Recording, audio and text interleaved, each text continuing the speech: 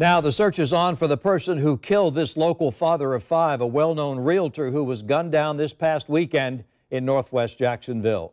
Loved ones tell us the man's name is Derek Hartley. Jacksonville police say he was shot multiple times following an argument. His death is the 41st homicide here in Jacksonville so far this year, according to News4 Jax records. And News4 Jax reporter Janice Harris spoke with two people who say Derek Hartley made their lives better, and this murder is a tragic loss for the community. Denise?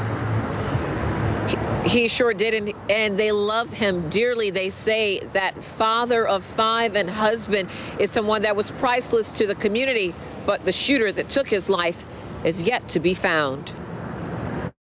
Today's gloomy weather is a reflection of the devastating pain hundreds of people are feeling after realtor Derek Hartley was shot and killed Saturday at Moncrief and 35th Street. Will McKenzie says he and Hartley both work in the real estate industry, but he was also his friend, and McKenzie loved Hartley like a brother. He was an advocate for uh, all young people, so I mean, who he was and what he was to our community, we took a major loss. A loss that remains an unsolved homicide. McKenzie says Hartley was known as one of the good guys in the community, and he did not have enemies. Not in a million years we would have thought this would happen to him. It has left us speechless. As his friends and loved ones mourn his death, those who knew him from a distance are speaking out through social media. Prayers to the family. People, if you're not saying anything and you know something, you're part of the problem and not the solution.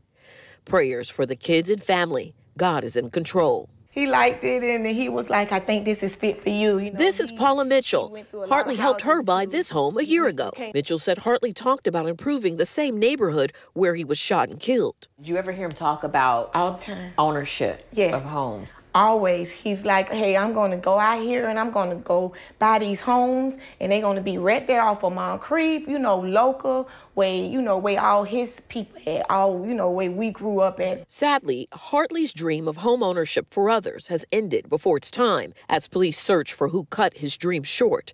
Despite the tragedy, Hartley's legacy of helping the community lives on. And we've checked again so far, no arrests have been made. If you know anything about this shooting, you are urged to contact police or Crime Stoppers immediately. Live on the north side, Janice Harris, Channel 4, the local station.